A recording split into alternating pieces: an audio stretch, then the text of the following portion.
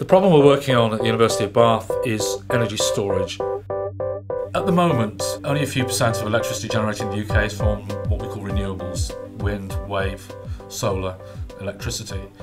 But there's a lot of incentive to have a greater proportion of our electricity supplied by these kinds of technologies, particularly to manage climate change. So we need some technology that can help us store the electricity, for example, during the day, if it's solar, to deliver at night time when we get home from work. Well, in the Department of Chemical Engineering, which is my base at the University of Bath, we're looking at a number of techno- technological solutions to this uh, storage problem using hydrogen. Hydrogen is readily available. It's all around us in water. 11 weight percent of, of water is hydrogen. It's in biomass, you and me. Uh, and it's in fossil fuels. And there's a lot of hydrogen. And of course, we see hydrogen every day in action. It's in the sun. That's what drives the sun. So we're not directly involved with the production of hydrogen and we're not directly involved with the final use. We're interested in the middle bit. And that middle bit is how you contain the hydrogen. And just to give you an example of why it's difficult, let's imagine we're driving a car 300 miles. You need about 4 to 5 kilograms of hydrogen, which is about a third of the mass of gasoline that you need to go that same distance. So in other words, hydrogen produces a lot of energy per unit mass the problem is it would occupy 60 cubic metres, which is three or four times the volume of your car. Now, no one is presuming that we're going to drive around with whopping great balloons behind our cars. So a problem is that we want to have the same amount of hydrogen but in a, in a concentrated small space. And one of our biggest technical challenges is to be able to try and work out how to do this in the best possible way. At the moment, there are two main uh, methodologies to store hydrogen in, in small lightweight containers. One is by liquefying hydrogen.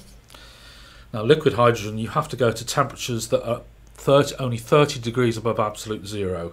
Incredibly difficult to, to both achieve and maintain. The other way is by compressing hydrogen.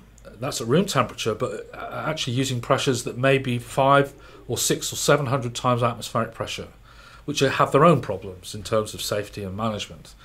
So compressed gas and liquid hydrogen are the two main state-of-the-art technologies. We're looking completely differently. We're looking at using materials that got very small pores in them.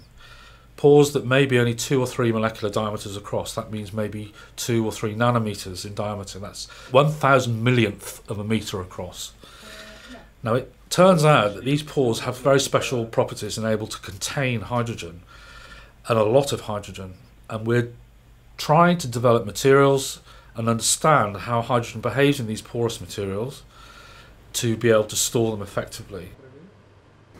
My side of the research is focused on the materials and the experimental evaluation of their hydrogen storage capacities.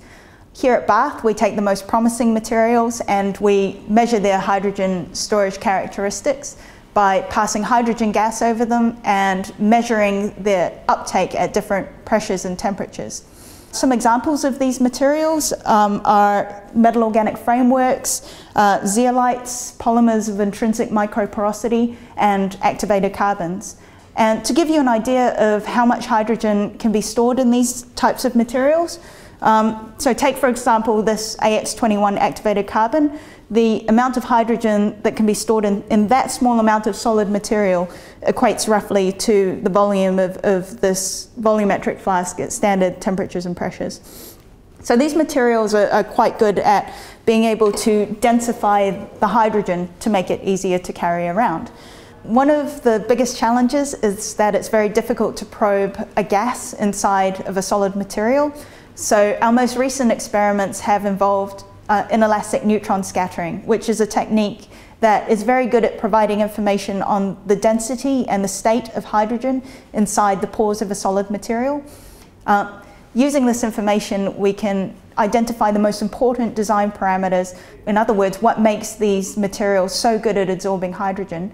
Uh, and we can use this information to develop better hydrogen storage materials with higher capacities for the future as a, as a fundamental engineering scientist, I'm absolutely on the edge of my seat with some of the results that we have in terms of what's happening inside these tiny pores in the materials that we believe, while I'm reluctant to use the word revolutionary, I think will cause a lot of excitement in the literature and in the scientific community. We've been the beneficiary of uh, EPSRC funding for over 10 years now under its Supergen program. Supergen means Sustainable Power Generation and Supply. These materials that we're looking at could be used to store hydrogen in motor vehicles and they could be used to store electricity from renewable electricity, both of which have really positive advantages in terms of reducing carbon dioxide emissions, which then help reduce the impact of climate change.